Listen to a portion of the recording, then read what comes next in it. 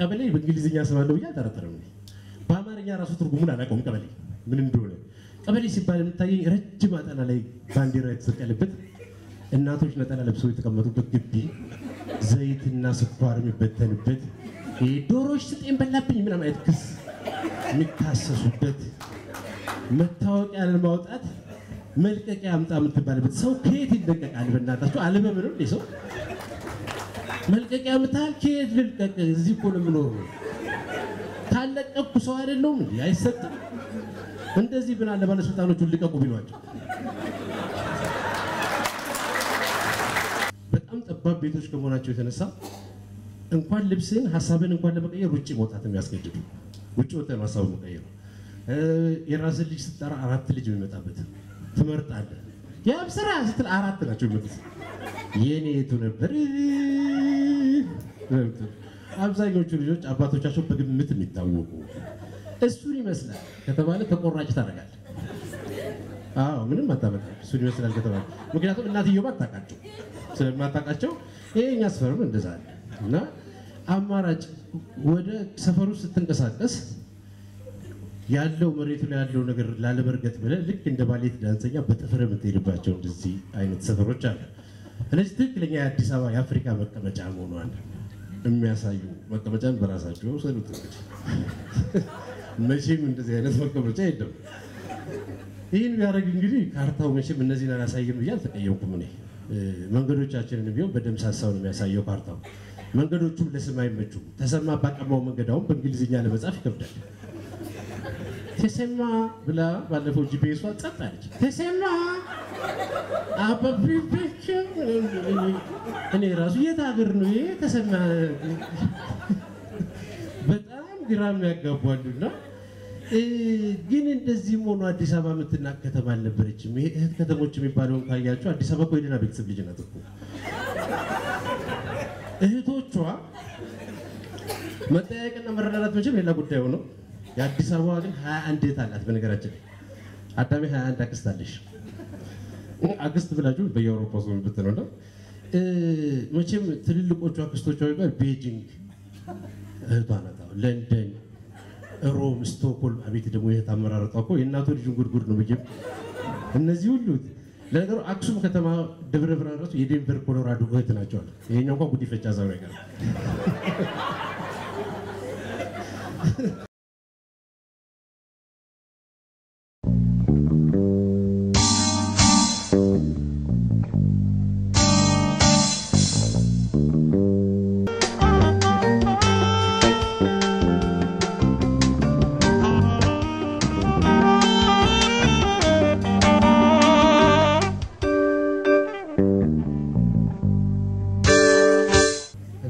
አመሻችሁ። በጣም ከረጅም ጊዜ በኋላ ነው መድረክ ላይ ቆምኩት። እንትን ቴሌቪዥኑን ለመድኩትና በፊት ጭብጨባ ነበር እንትን ያደርግ አሁን ደግሞ ጭርን ለብቻው ጭብጨባ እያስደነገጠኝ ነው። አንድ ያጨብጭቡና በደንብ አስደንግጡኝ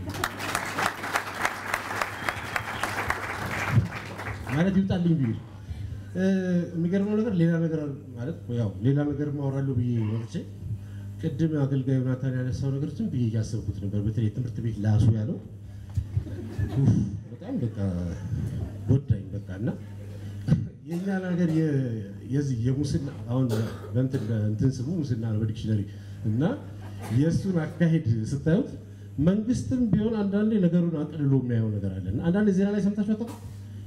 በዚህ ዓመት አሪፍ ገቢ ነው የተሰበሰበው የሶስት ቢሊዮን ብር ክፍተት አለ ይላል። ሶስት ቢሊዮን ክፍተት ከተባለ ስርቆት ስንት ቢሊዮን ነው? እነሱ እነሱ ነገሮችን ሳስባቸው እና ይሄ ተቀማጭ ሰዎች ያለው እኔ አልደብቃቸውም፣ ተቀማጭ ነኝ። ቅድም ያለው ቆሻሻ ይቸዋቃለ ቀላል እግሬን ዘርግቼ ከመጠሩ ሶፋ ላይ ይህን ይህን በሙሉ አለ እና ዛሬ ባልተለመደ ሁኔታ በነገራችን ላይ የማወራቸውን ነገሮች ጽፌ አላውቅም። ጽፌ አላውቅም ማለት just ሀሳቡን ይዤ የማወራው ሁሌ ስለ ትምህርት ብናወራ ከሆነ ስለ ትምህርት እናወራለን። ስለ ሌላ ነገር ብናወራ ያው እኛ ሀገር የማናወራው ነገር አለ። እርግጥ አሁን ትንሽ እናወራለን፣ ግን ጫፍ ጫፉን ነው የምናወራው፣ መሀል መሀሉን እናወራ እና ዛሬ መቼም የተወሰነ ነገር ይሄ አሁን ያለው ጊዜ ሁላችንም ከጉግል ጋር የተያያዝንበት ነው እና ሁሉም ሰው እዚህ ውስጥ ስማርትፎን መቼም account የሌለው የለም። ፌስቡክ፣ ትዊተር የሀብታም ነው ይመስለኝ። በነገራችን ትዊተር ያለ የሀብታምና የባለስልጣን ነው ትዊተር ይመስለኝ። የሰፊው ህዝብ ፌስቡክ ነው፣ ጉግል እና ፌስቡክ እና ከዛ ጋር ተያይዞ እስቲ እዚህ ውስጥ የስነ ጽሁፍ ባለሙያዎች ስለምትኖሩ እጅግ ከፍተኛ ጽሁፍ እንዳጠብቁ ከኔ ግን ጉግልን አይቼ የሆነ ጊዜ አዲስ አበባ በጉግል አይን አንዳንድ የኛ ሀገር ሰዎች ሲመጡ የሚሰጣቸውን መረጃ እና የኛን ሳይሆን ትንሽ የሆኑ ነገሮች ስላየሁበት ከዛ ተነስቶ እንደው ጥበብ ጠርታኝ ልብለው ደውላ ያው ታነሳለህ። አንዳንዴ ሲደውል missed call ከሆነ ትነግሩኛላችሁ ትጨርስ። ይህ ጽሁፍ እንግዲህ የእውነትም ነው። ሬዲዮ ፕሮግራም ጉግል ጠቀስ የሆነ የሬዲዮ ፕሮግራም ሰምቻለሁ። የዘንድሮ የሬዲዮ ፕሮግራም በአብዛኛው ጉግል ጠቀስ ነው። ዜናውም የኛ ቢቢሲ ዘግቧል ሺንዋ ዘግቧል እንጂ እኛ ምን እንደምንዘግብ አላውቅም። ሁሉም መጨረሻው ላይ እንትን ሲል ሲል ቢቢሲ ዘግቧል። ስለ እንትን ወረዳ ስለ ወርመራ ወረዳ የአርሶ አደሮች አይገርምሽም? የአርሶ አደሮች ልማት ቢቢሲ ዘግቧል አይልም? ባለፈው አንተ ለምን ደግሞ ዝም ብለው ምን ልዘግብ ነው ያስብላል። እና ይሄ ጉግል በቃ ዘጋቢም ሆኗል እኛ ጋር። ከዚህ ተነስቶ ነው እንግዲህ ጠዋት ላይ አሪፍ የሬዲዮ ዝግጅት ሳዳምጥ ቆይቼ ጉግል ውስጥ አዲስ አበባ ብዬ type አድርጌ ያገኘኋቸው ነገሮች ነበሩ። መጀመሪያ የአየር ንብረት ትንበያ ነው የመጣው፣ የታወቀ የፀሐይ ቀለም ያለው። ቀጥሎ ደግሞ የተለያዩ ድረገጾች ነበሩና ለእኔ አይነቱ የከተማ ነዋሪ መቼም ዘንድሮ ፋሽን ስለሆነ እና ከጎረቤታችን ይልቅ ጉግልን ስለምንሰማ እኔ የሚድረሰኝ ብዬ ማየቴ ነው እንጂ አዲስ አበባ ጠፍታኝ አይደለም። ስለዚህ የአዲስ አበባ መዲና የአፍሪካ መዲና የምትባለው በተለይ አፍሪካ መሪዎች ሲሰባሰቡ የአፍሪካ መዲና የምትባለው የዛን ሰሞን ስሟ በጣም ጉደኛ ጉደኛ ታሪኮች ተጽፈውላት አየሁኝ። የአየር ንብረት ትንበያው የእኛን ሜትሮሎጂ አስታውሰኝ። የእኛ ሜትሮሎጂ በጣም ተአምረኛ ሜትሮሎጂ ከመሆኑ የተነሳ የአየር ንብረቱን ዘገባ የጻፉት እኔ ጩጬ እያለሁ ግድግዳ ላይ መሰለኝ የጻፉት። መቼም አይለወጥም። በቃ በቃ ማለት ሁልጊዜ ኢትዮጵያ ከፊል ፀሐያማና በአንዳንድ ቦታዎች ዝናብ አግኝታ ነው ይቺ ሀገር አትቀይርም? በአንዳንድ ዘግና ነገሩም እኛ ልብ ብለን ስላልሰማን ነው እንጂ ሜትሮሎጂ normally ትንበያ ነው የሚባለው። weather forecast ይሉታል ፈረንጆቹ እና ነገውን ያው ተንብይ እንጂ በእርግጠኝነት እጅ ላይ የለም። የእኛ ሀገሩ ግን እንደዛ እንዳልሆነ እኮ አሁን መቼ ልብ ብዬ ሰማው የገባኝ አሁን ነው። ለሜትሮሎጂ ዘገባው እከሌ እከሌ እንዲህ ነገር ዘገባ ነው ተጽፎ የተሰጣቸው ነው እንጂ ትንበያ ቢሆን መቼም ቀስ ብሎ ያነበዋል ምናምን እላለሁ። የተወሰኑ ቦታዎች ዝናብ ያገኛሉ። ሁሌም ቢሆን እኮ ነው። አሁን ሰሜን ኢትዮጵያ ፀሐያማ፣ ቀሪዎቹ የሀገሪቷ ክፍሎች ዝናባማ ናቸው። አርጆና ቲሊሊ ዝናብ ያገኛሉ። ሁለት ከተሞች እንደ ሜትሮሎጂ ቢሆን እነዚህ ሰዎች ጎርፍ ወስዷቸው ነበር ድሮ። እኔ በጣም ግራ ነው የሚገባኝ እና የተረፈውን ንባብ የጀመርኩት እንግዲህ የከተማን የኋላ ታሪክ አይቼ ነው። እድሜዋ መቼም አዲስ አበባ እሷ ባመነችው ሰላሳ ሁለት ዓመት ነው። ያው አልፎ አልፎ በምክንያት አብዛኛው ደግሞ አንዳንድ እህቶቻችን እንደምታደርጉት የተወሰኑ ዓመታት መቀናነሷ አይቀርም። አገርም እንደ ሰው የሚባለው ጣሊያን ከመጣ እንግዲህ መቶ ዓመት ሊሆነው ነው። ከዛ በፊት ንጉሱም አሉ ምኒልክም አሉ። የሁሉ ዘመን ኖሮ አዲስ አበባ አሁንም ያመነችው እድሜ 132 ዓመት ብቻ ነው። ይሁን አሁን እንግዲህ ይህ ሁሉ ታሪክ ተሰርቶ የአሁኑ አዲስ አበባ ላይ ደርሰናል እና በቀደምት ዘመናት የነበሩ አዲስ አበባዎች አዲስ አበባችን የአይናችን ማረፊያ አየርሽ የሚገርም ነዋሪሽ ሰው ወዳጅ አየርሽ ማረፊያ የተባለ ግጥም ነበር ድሮ። አሁን ስለ አዲስ አበባ የሚገጠመው ግጥም ኢሌ ኢሌ አዲስ አበባ ተመስገን ነው። ለነገሩ ቢያንስ መድፊያው አዲስ አበባ ነው። ኢሌ ኢሌ ገደል እንዳንገባ ቢላው የማን ያለ ይባላል። ምንም ልታደርገው አችልም። እና ጽሁፎቹን ከመመልከት በፊት በካርታ ካርታ የሚባል ነገር አለ። የከተማውን ካርታ ሳይ እውነቴን ነው የምነግራችሁ ግን ያየሁትን ከሳተላይት ምስል አንስቶ ለጎብኚዎች እስከሚሰናዳው የመንገድ አቅጣጫ ድረስ ካርታዎች መጡልኝ። አንዳንዱ የሆነ ቁራጭ ምንጣፍ ነው ይመስለው። የተረፈውን ሀገር እኮ እንዴት ኩልል አድርገው እንደሚያሳዩት እርግጥ እኛ ጋርም ችግር አለ። ግን ያው የካርታ ንባብ እውቀት ስለሌለኝ ነው ብዬ እስቲ ለሳምፕል ብዬ የለንደንን ካርታ ሳየው ወንዙ ሳይቀር ቀለሙ ያው ወንዝ ገና እየሰራን ነው ቀበና ስላለ በአዲሱ ይመጣል። እሱን ሁሉ እያሳየ የእኛን ካርታ እንደዛ አድርጎታል። ማንቸስተርን ሳየው ጭራሽ ሰው ሁሉ ይታ የከበቡ ሰዎች ሁሉ አይቻለሁ። ኳስ መሰለኝ እሱ ማንቸስተር ከነማ ሲቲ፣ ማንቸስተር ከነማ እና ሌሎች። ይህን እንኳን ተመስገን ነው እንኳን የኛን አላሳየ። አስቡት እስኪ ኮብልስቶን የያዙ ልጆችና ቆመጥ የያዙ ፖሊሶች በሳተላይት ለዓለም ሲታይ እኛ ራሱ በጣም የሚከብደን ይመስለኛል። የሆነ ሆኖ አዲስ አበባን እንደዚህ አይነት ካርታ ለምን ሰጧት ብዬ በጣም ተበሳጭቼ ነበርና ለአቅመ ካርታ ለመብቃት ምን ያንሳታል አዲስ አበባ? ማለት አንዳንዴ ስታየው እቺ ከተማ አዲስ አበባን የሚያሰኟት በእኔ እይታ እንግዲህ ያሉ ሰፈሮች አሉና እነ ስድስት ኪሎ እነ አራት ኪሎ እነ ካዛንቺስ እነ ለጋር እነ ቸርቸር እነዚህ ሁሉ ሰፈሮች የድሮዎቹ የአዲስ አበባን የድሮ ገጽታ የሚያሳዩት። አሁን ግማሾቹ ምን ልበለው? እየለሙ ልበለው? እየጠፉ አገልግሎት ሰጪዎች የሚገኙበት ትልልቅ አገልግሎት ሰጪዎች ያሉበት ቦታ ነው እና እነዚህ ከተሞች በጣም ጠዋት ተዘርተው ከሰዓት የበቀሉ ከሚመስሉት አዲስ አበባ ሰፈሮች ይልቅ የተለየ ስሜት ይፈጥሩብኛል ሳልፍ። አንዳንዶቹ ሰፈራችሁ እዛ ያላችሁ ሊሆን ይችላል። ጀሞ ስሜት አይሰጠኝም። በሰፈሩ እናንተ የምትሆኑ በልማት ተነስታችሁ ነው እንጂ መቼም ሰፈሩ ድሮ ስናውቀው ከአዲስ አበባ ከተማ ውጭ ነው። ከነዚህ ከነዚህ እነዚህ በጣም ትኩረት ተደርጓል ይመስለኛል። በቅርብ ጊዜ የመንግስት የብርብር ውጤቶች ስለሆኑ እነሱን ለዓለም ፕሮሞት ለማድረግ መሰለኝ። ከዛ ውጭ ግን ያልታዩ ክፍሎች አሉ። የሚገርመው እነዚህ የኑሯቸው ደረጃ ከነዚህ ከነ ኪሎ ዝቅ ቢልም በጣም በመሰረተ ልማት የተጎዱ እንደ ጥርስ በጣም ተጠጋግተው የተሰሩ ቤቶች ያሉበት በጣም ጠባብ ቤቶች ከመሆናቸው የተነሳ እንኳን ልብስን ሀሳብን እንኳን ለመቀየር ውጭ መውጣት የሚያስገድዱ ውጭ ወጥተህ ሀሳብ መቀየር ነው። የራስን ልጅ ስትጠራ አራት ልጅ የሚመጣበት ትመርጣለህ። ያም ስራ ስትል አራት ናቸው የሚመጡት። የኔ የቱ ነበር? አብዛኞቹ ልጆች አባቶቻቸው በግምት የሚታወቁ እሱን ይመስላል ከተባለ ተቆራጭ ታደርጋለህ። አዎ ምንም አታመጣም። እሱን ይመስላል ከተባለ ምክንያቱም እናትየው አታውቃቸው ስለማታውቃቸው ይሄ እኛ ሰፈርም እንደዛ አለ እና አማራጭ ወደ ሰፈሩ ስትንቀሳቀስ ያለው መሬቱ ላይ ያለው ነገር ላለመርገጥ ብለህ ልክ እንደ ባሌት ዳንሰኛ በጥፍር የምትሄድባቸው እንደዚህ አይነት ሰፈሮች አሉ። እነዚህ ትክክለኛ የአዲስ አበባ የአፍሪካ መቀመጫ መሆኗን የሚያሳዩ መቀመጫን በራሳቸው የወሰዱት መቼም እንደዚህ አይነት መቀመጫ የለም። ይህን ቢያደርግ እንግዲህ ካርታው መቼም እነዚህን አላሳይም ብዬ አልተቀየምኩም። እኔ መንገዶቻችንን ቢሆን በደምብ ነው የሚያሳየው ካርታው። መንገዶቹም ለስም አይመቹም። ተሰማ ባቀማው መንገድ በእንግሊዝኛ ለመጻፍ ይከብዳል። ተሰማ ብላ ባለፈው ጂፒኤሷ ጸጥ አለች። ተሰማ አበብቤች እኔ ራሱ የት ሀገር ነው ይሄ ተሰማ? በጣም ግራ የሚያጋቧሉና ግን እንደዚህም ሆኖ አዲስ አበባ የምትናቅ ከተማ አልነበረችም። ይሄ እህት ከተሞች የሚባለውን ካያቸው አዲስ አበባ እኮ የደህና ቤተሰብ ልጅ ናት እኮ እህቶቿ መጠያየቅና መረዳዳት መቼም ሌላ ጉዳይ ሆነው የአዲስ አበባ ግን ሀያ አንድ እህት አላት። በነገራችን ላይ ሀያ አንድ አክስት አለሽ። አክስት ብላችሁ በየአውሮፓ ሰው ብትነው ነው መቼም ትልልቆቹ አክስቶቿ የሚባል ቤጂንግ እህቷ ናት። ለንደን፣ ሮም፣ ስቶክሆልም አቤት ደግሞ የእህት አመራረጧ እኮ የእናቶ ልጁን ጉድጉድ ነው ብዬ እነዚህ ሁሉ ለነገሩ አክሱም ከተማ ደብረ ብርሃን ራሱ የዴንቨር ኮሎራዶ እህት ናቸዋል። ይሄኛው እንኳን ጉዲፈቻ ዛሬ አይቀርም።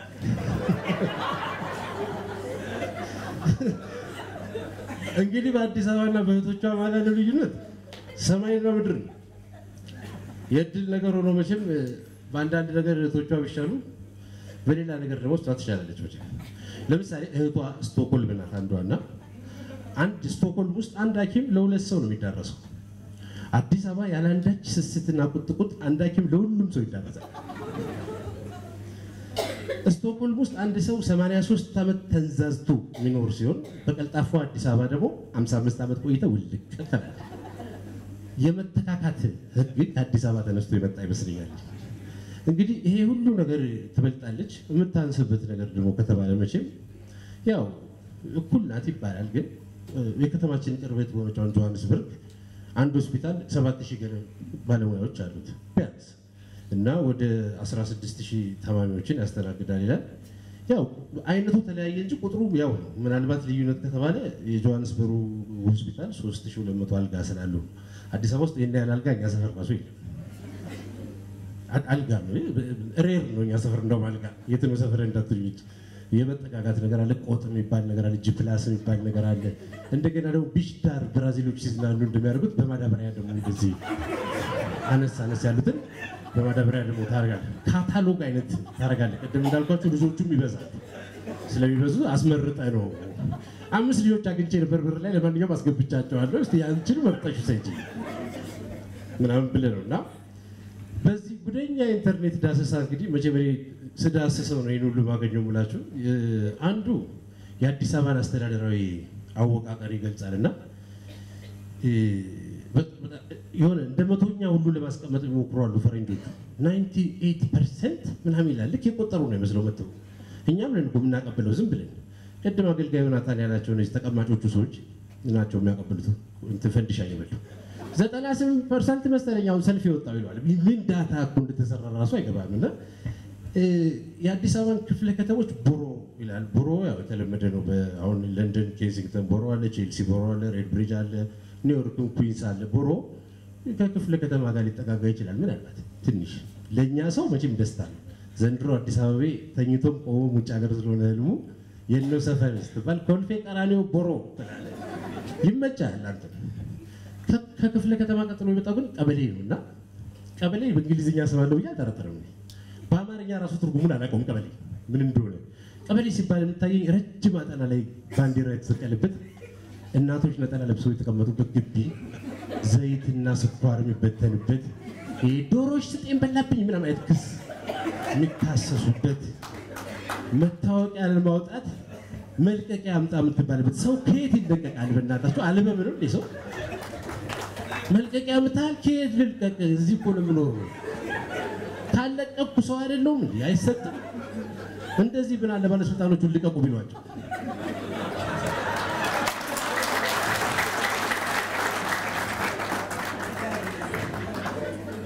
እኔ ይሄ ሁሉ በቃ የቀበሌ ታሪክ ነው በቃ የሚመጣብኝ እና ከዛ ውጭ ደግሞ ያው ቀበሌን ሲተረጉመው እርግጥ ዋርዳ ነው ትንሽ ከፋኝ። ዋርድ ስል የመጣብኝ የካቲት 12 ነው።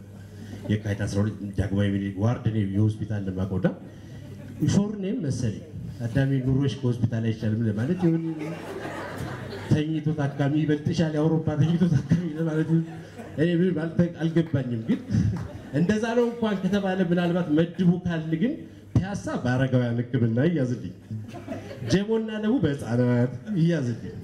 እኛ ሰፈሩ አይነት ዲሲ እና እንትን ደግሞ ሀዲድ አካባቢ ደግሞ በውስጥ ደዌ ሕክምና እንድትመዘግቡልኝ በማክበር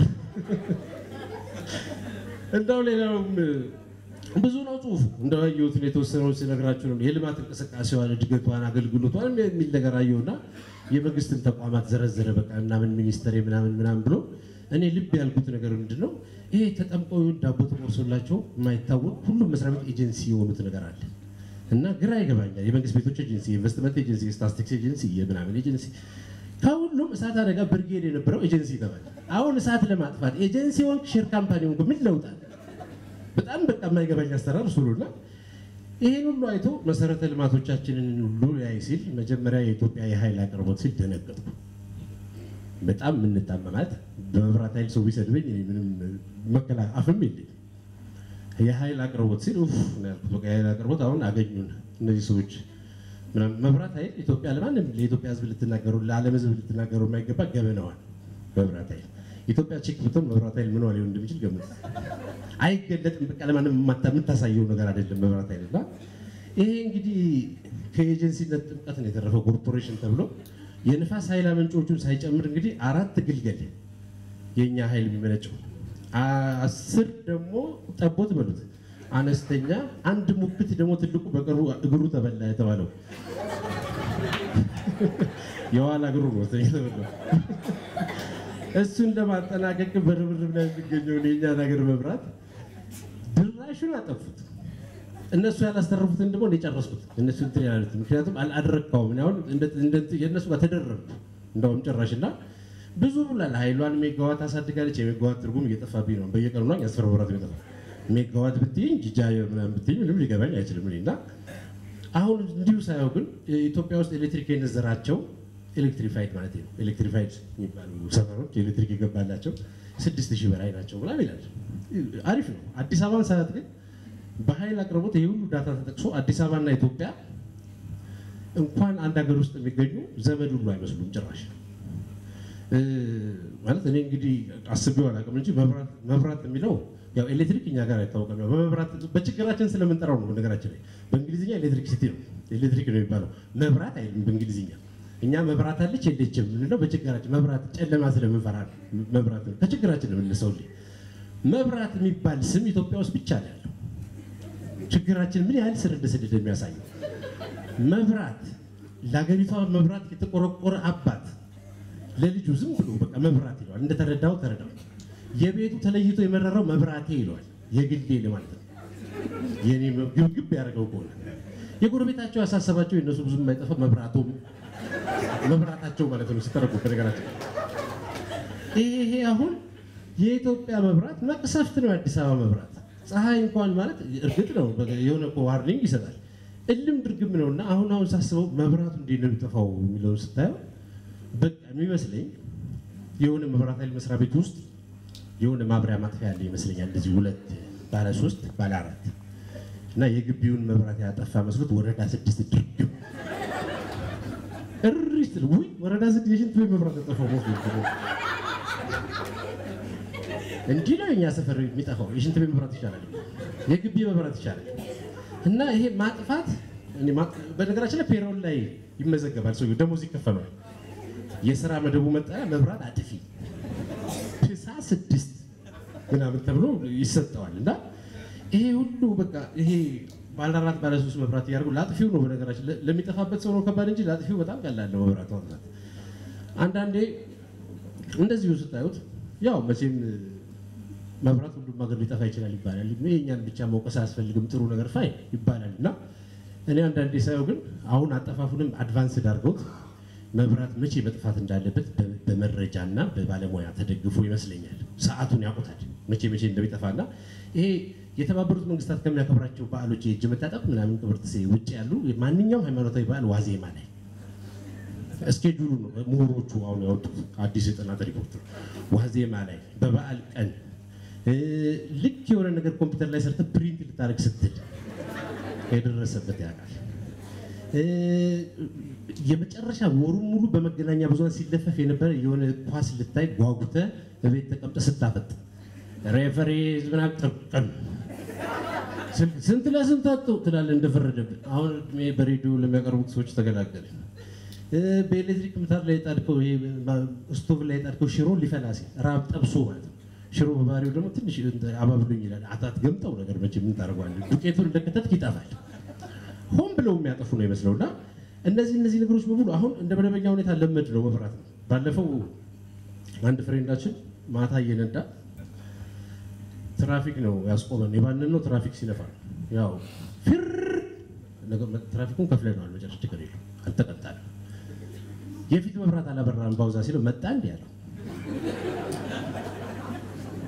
በቃ መብራት አለ ነው surprise። ጠፍቷል፣ ምንም ተአምር የለውም ጠፍቷል። ይህን ይህን በሙሉ እንግዲህ ስንት ነገር አይተን ውጭ ሀገሮችም እንግዲህ ኢንተርኔት ጽሁፍ የሚባሉትም ሁሉ የሚያሙን ነገር ነው።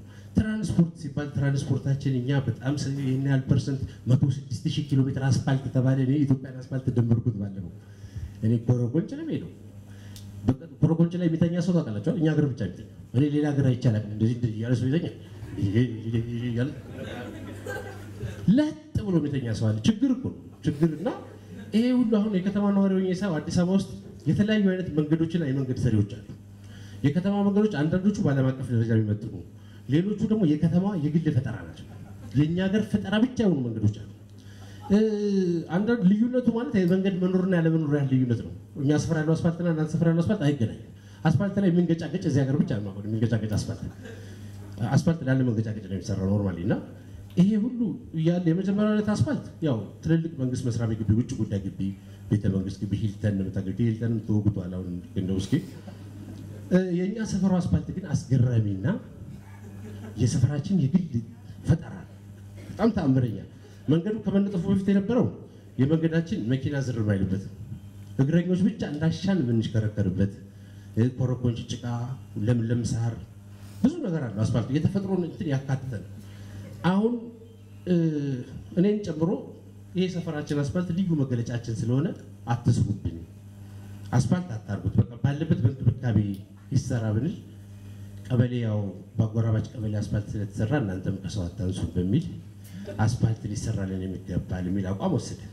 የሰፈራችን ነዋሪ በነገራችን ላይ ከሰው እኩል መሆኑ የሚፈልግ ነው። ቅድም እንዳልኳችሁ ልጆቹ ግድግዳ ላይ አንዳንድ ችግር ቢኖር በማንኛውም ነገር ለልማት ደግሞ በጣም ቀናኢ ህዝብ ነው እና በወሰደው አቋም ጸንቶ ከጥቂት ሳምንት በኋላ እንግዲህ ተጠሪነቱ ለቀበሌያችን የሆነ ኮሚቴ ተውጣቶ መዋጮ እንዲያደርግ ደብዳቤ በየቤታችን እኔ አንደኛ ተቃዋሚ ስለሆንኩ ገንዘብ አዋጡ የሚለውን ተቃወምኩ።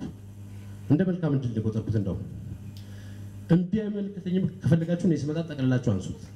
አስፋልቱን እንደ ምንጣፍ ዞሮ ዞሮ መነሳቱ አይቀርም። እዚህ ውስጥ አያገባኝም። መጨረሻ ግን ያው ከቀበሌ አትበልጥም። መቼም ማንኛውም ሰው ስኳርና ዘይት ያስፈልጓል። ምንም ማድረግ ማሙሽ ዘይትም ቢሆን ፀሐይ የሚሞቀውም ቢሆን ትራፊክ መብራት ላይ ስታክ ብታረግም እሱን ዘይት መብላት በቃ ምንም ልታደርግ ክላክስ የሲኖ ትራክ ካልሆነ አይቀሰቅስም። እሱን ዘይት ብል ቀጥ ነው የምትለው ትራፊክ አስ ቢቢ የቀበሌ ዘይት አታቆምም አንተ።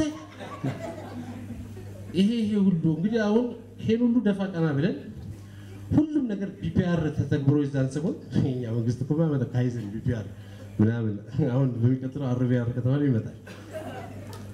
ቱታ የለበሱ አፋቸውን በጭንብል የሸፈኑ ሰዎች በጣም አዛርገውን ቀኑን ሙሉ ሲያደርጉ ውለው የእኛ ሰፈር ከአየር ላይ ሁሉ አይታይም፣ በአቧራ ተሸፍኖ ማታ ጠዋት ወጥተን ማታ የገባን ሰዎች እንግዲህ ማታ ልጆቻችንን አራግፈን ስመን ሚስቶቻችንን ወልውለን ስመን አስተኝተን መቼም ልማት አይደል በ24 ሰዓት መንገዱ ተቀላጥፎ ጠዋት ታክሲ ሲጠራን የተነሳ ነው። ለጋር ለጋር ምናምን ሲል አስፋልት ገብቶ በአንድ ቀን BPR ታምረኛ ነገር ነው እና ይሄ ሁሉ እንግዲህ ስንት ሰው ካሜራ ቀረጸ፣ ደቅኖ ወጣ።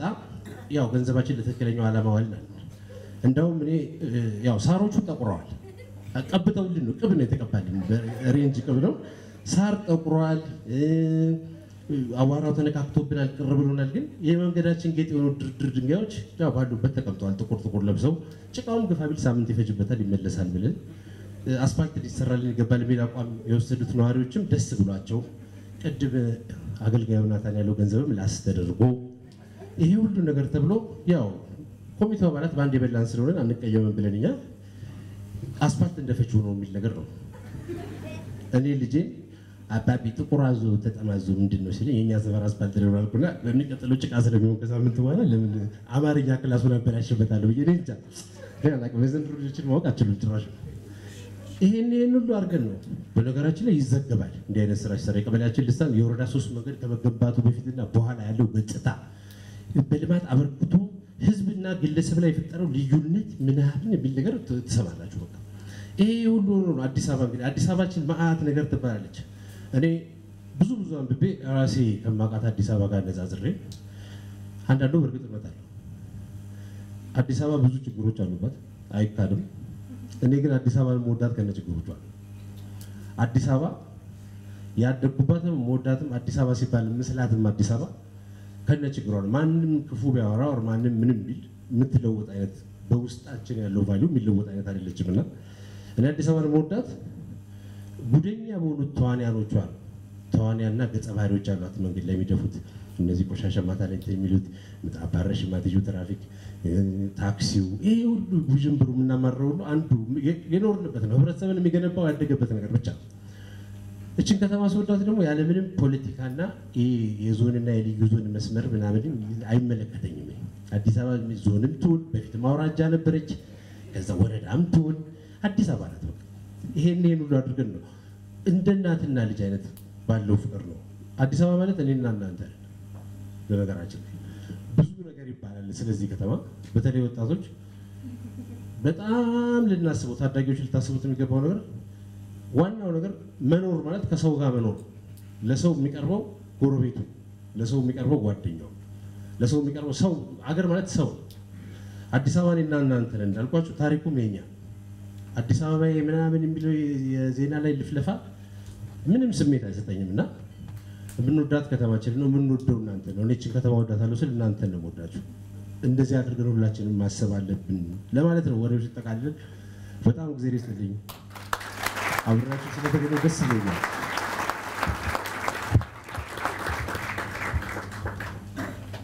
ኮሜዲያን ሰመረ